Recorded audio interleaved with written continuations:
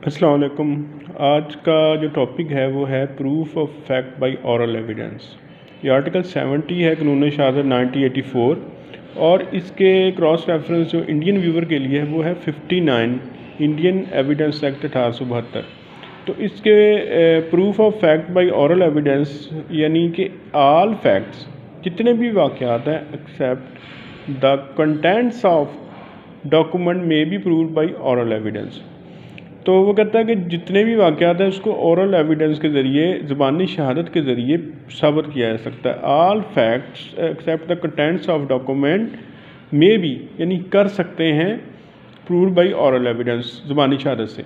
देखेंगे, ज़बानी शहादत जो है ना, वो बेस्ट एविडेंस कहलाती है कि किसी भी वाक़े के डायरेक्ट और, जो औरल एविडेंस है, जब अदालत में पेश होती है जब विटनेस की स्टेटमेंट अदालत में पेश होती है तो उससे साबित होता है कि वो वाक़ जो है वो रूनुमा हुआ है कि नहीं है।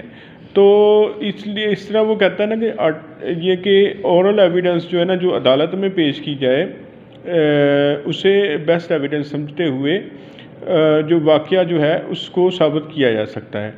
तो लेकिन उसमें उसने कहा है कि सिर्फ़ जो है ना except the contents of document के जो दस्तावेज़ है ना, उनके नकात उनके कंटेंट्स को जो है वो औरल एविडेंस के ज़रिए साबित नहीं किया जा सकता।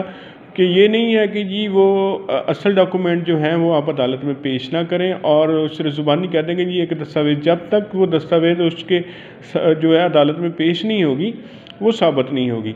लेकिन इसकी भी कुछ एक्सेप्शंस हैं जो कि जैसे 74 है कि प्राइमरी एविडेंस में आपको उसको 74 फोर सेक्शन फाइव में आप देखेंगे सब आर्टिकल फाइव में देखेंगे कि जी उसमें है कि जी कंटेंट्स ऑफ़ डॉक्यूमेंट को औरल एविडेंस से साबित किया जा सकता है बताओ सेकेंडरी एविडेंस लेकिन वो सूरत में है कि जब जैसे आर्टिकल 76 में हालात वाक़ बताए ना कि डॉक्यूमेंट गुम हो गई है, ज़ाया हो गई है और इन सूरतों में जो है ना, वो दूसरी जो उसमें सूरतें बयान की हैं कि दूसरी पार्टी के पास है और वो पेश नहीं कर रही तो फिर वो उसके जो है ना, बतौर सेकेंडरी एविडेंस उसकी औरल एविडेंस दी जा सकती है। वरना लाजमी तौर पर यह है कि डॉक्यूमेंट का अदालत में पेश होना और उसके कंटेंट्स को साबित करने से ही डॉक्यूमेंट्री एविडेंस की बेस पर कोई फैक्ट साबित होगा।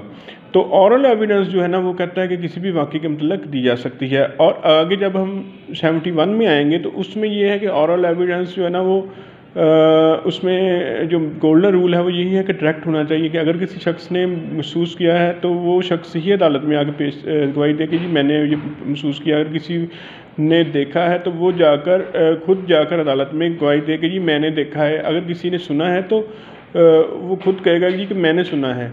तो हेर से एविडेंस जो है ना, उसकी कोई वैल्यू नहीं होती सुनी सुनाई शहादत की वैल्यू नहीं होती। तीसरा पर्सन गवाही दे जी कि फ़लाँ शख्स ने मुझे बताया था कि ये ऐसे हुआ हुआ है। फ़लाँ शख्स ने मुझे बताया था कि उसने डॉक्यूमेंट देखी थी। फ़लाँ शख्स ने कहा है कि मैंने महसूस किया है। फ़लाँ शख्स ने कहा जी कि मैंने सुना है। तो ऐसी एविडेंस की कोई वैल्यू नहीं है।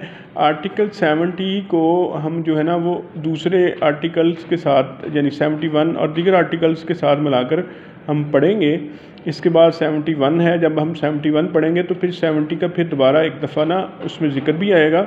और ये इस जो सेक्शन इस आर्टिकल का, और सेक्शन 59 फॉर इंडियन व्यूवर इसका जो है ना, ये लुबलबाब एक दफ़ा फिर सुन लें कि तमाम वाक़ात हैं ना, उसको साबित करने जो किया जा सकता है वो औरल एविडेंस से है। ज़बानी के ज़रिए कि जी, जो एक शख्स अदालत में पेश होकर कहेगा ये जो जो मैटर ऑफ़ क्वेश्चन है, या फैक्ट्स है, ये इस, ये वाक़ जो है, ये ऐसे हुआ है, मैंने देखा है, मैंने डायरेक्ट देखा है, मैंने डायरेक्ट महसूस किया है, मैंने डायरेक्ट जो है, वो इसमें सुना है।